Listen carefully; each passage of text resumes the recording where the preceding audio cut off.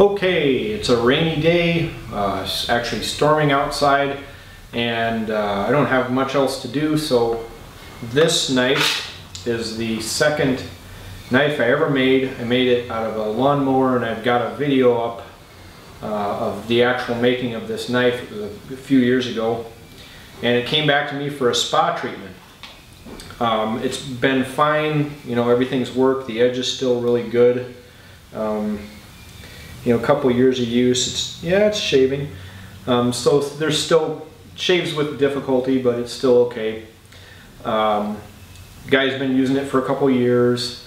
And uh, one thing that happened over those couple years is right here where the scale meets the tang, um, some of the epoxy came out of there. So he wondered what I could do for that. And I said, well, why don't I just uh, replace the scales and give it like a little spa treatment. So I'm going to do that. Um, the problem is, is that the tang in this area is thinner and it kind of jumps out of the, where juts out of the way there. Uh, and at the time I didn't have a grinder powerful enough to grind that flat and so I just filled it with epoxy and the epoxy came out. Um, but the handle scales are just fine. Um, these these pins I uh, they're basically brass and then I uh, countersunk and then hammered them into the countersink so that they're flat and that the handle is actually pinched onto there. Well, so I drilled and drilled and drilled and I got one of the pins out with a, a hammer and a uh, punch and I was working on the rest of them. My next door neighbor came over. He said, well, come on over and use my 20 ton uh, hydraulic jack press. So that made quick work of that. Got these pins out um, no problem. But again, it takes a big effort to get this, get these apart. So it's a sound method of uh, making your handles. And then I think we put enough pressure on it that, you know, this one just wants to come right off. Um, we'll see if the other one will. Maybe not. I might have to get a screwdriver and try this one. See what this does, if it wants to come up. Seems to.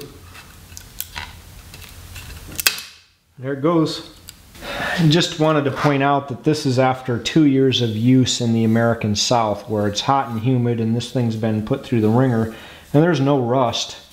Um, and that was the main purpose of the epoxy was just to seal this off so that water and stuff wouldn't get in there and potentially rust this.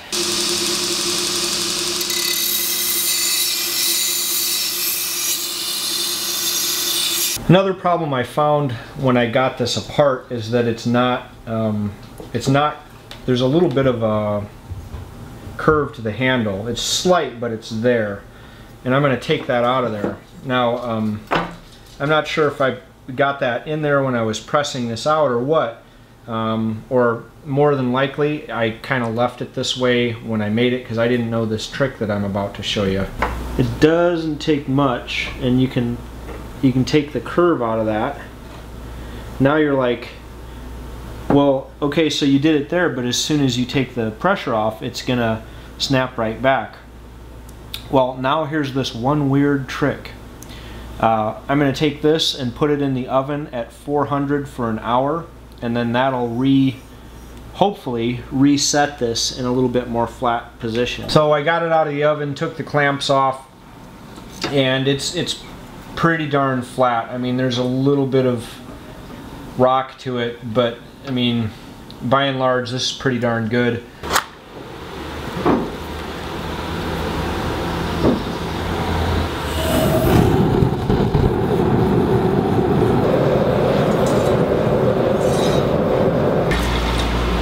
Oh yeah. You like it? Oh yeah, that's perfect.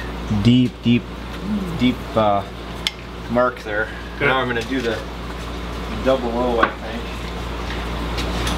Just because uh, I didn't didn't get this done on on the first one because I didn't have it.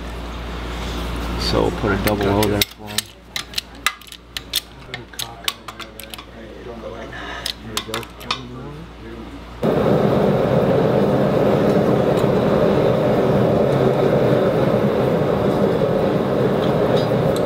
I did a differential heat treat on this blade. I'm not going to show how I did that. Um, now it's time to cut out some scales here and get them drilled and get everything started.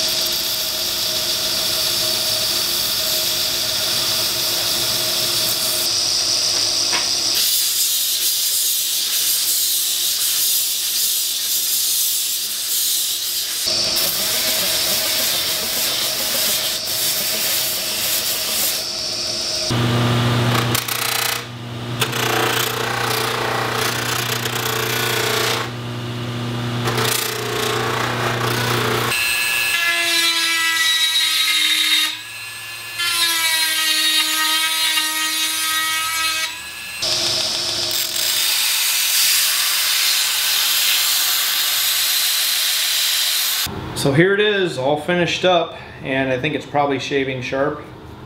Yep. Um, has proven track record, pretty good little knife, and with the new handle, new heat treat, differential heat treat and everything, and new edge, I'm sure he'll be pretty happy with it. This, um, pretty important little knife for me because it eventually led to this. So, uh, you know, I incorporated a bunch of things that I learned from making these out of lawnmower blades into making them out of known steel. And someday I'll make a few of these available, but not yet.